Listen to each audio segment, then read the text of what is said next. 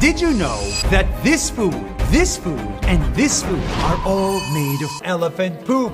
Yeah, elephant poop is hiding in everything we eat. Probably gelatin. Gelatin is made from, Elephant poop. so it's the Elephant poop. And it's not just elephant poop. If you're an elephant poop like me, you'll be surprised to know that you're still eating elephant poop.